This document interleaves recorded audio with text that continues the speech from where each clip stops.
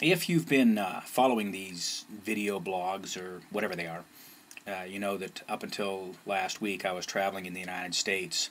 Uh, went to San Diego. I'm trying to reestablish that market.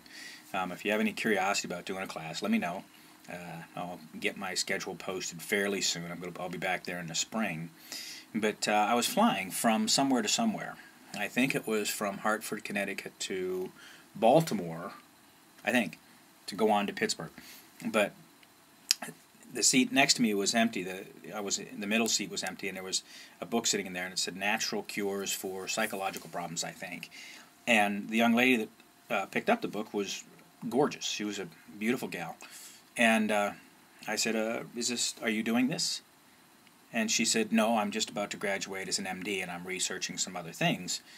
And we got talking. And I said, "Wow!" I said, "Medical school." I said, uh, "Scholarship, uh, wealthy family." She said, "No, I'm incredibly in debt."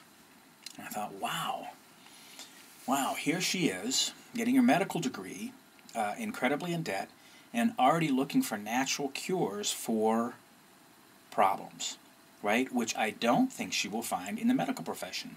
And I don't think, and I think that if her views, which I can't imagine this, are skewed somewhat because she owes hundreds of thousands of dollars and she has to start making money, and that means selling drugs or wielding a knife, uh, I'm going to bet on that. But I just got thinking of shit, how fortunate I have been. I went through college. I went through chiropractic. I got out of chiropractic college over 30 years ago, so it's been a while.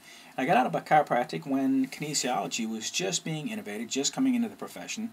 Started learning it from the innovator, George Goodheart, and uh, went into an associateship with a man named John Bandy who taught me a, a lot more about kinesiology. And kinesiology was frowned upon by the chiropractic profession. In fact, they tried to get it out of the chiropractic profession. I'm not sure why, but within a within a profession of quacks, I was considered a quack. imagine that little tiny minuscule area of the world. Not only are you're a quack by degree, you're a quack within the quack profession, but and, but now it's been kind of accepted. And chiropractic has been transitional. A lot of us had to step up as, as frontline uh, primary health care providers to deal with a lot of things that people didn't want to take drugs for. And I still, uh, I had a gentleman, I have a small practice, uh, came in today and he said, his, the doctor, the medical doctor did a thing. I told him about my hip. And he said, well, you're going to have to take painkillers. And he said, I don't want to take painkillers. He said, they mess with my head. I don't like what they do to me. Can you fix me? And so we're working with them. We can't fix them in a visit. I know this is, you know, how many chiropractors does it take to change a light bulb? One, but it takes 24 visits. It's going to take me a few times to finish this man. Then I'm going to say, why don't you come in once a month and get adjusted? And I think he'll do it because people here in the mountains know value.